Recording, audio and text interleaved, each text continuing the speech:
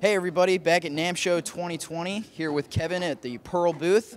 We got some really cool pedals to show you here. Kevin, what can you tell us about That's this? right. Well, the you know Pearl made the Eliminator 20 years ago. It's been a mainstay for the professional drummer for all that time. And one of the things that made it really unique was the interchangeable cams. You can change the feel of your pedal just with the click of a button. But not everyone needs that kind of flexibility. Usually people like to have one feel and that's about it. So it's sort of a, of a mainstay.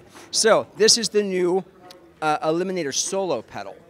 You have two different cam options. This is the radical progressive or the red cam, and then there's the linear action standard round cam. Gives you two different types of feel. This one's more for high speed, the other one's more for power. As you can see, we've, we've made this over with a more sleek and more smooth uh, footboard to increase the, you know, decrease friction, increase speed. And then we have the, uh, the quad beater, double chain, all available for a very, very reasonable price for the professional drummer. This is definitely a professional uh, bass drum pedal, but doesn't have all the unnecessary bells and whistles. So, uh, made for players, made to move.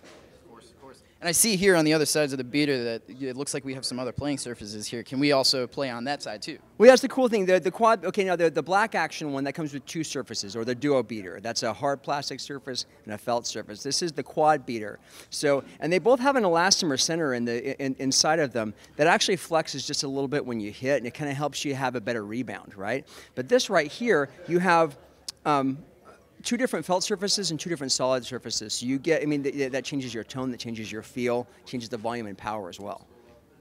Yeah. When can we uh, expect these to be available? We're looking at a couple months on these ones as well. This is going to be a great product, though. I mean, really accessibly priced, all about speed and power. Awesome. Very cool. Well, there you have it. The Pearl new newest Pearl pedal here at NAMM Show 2020. And if you have any questions about this product, leave it in the comments below.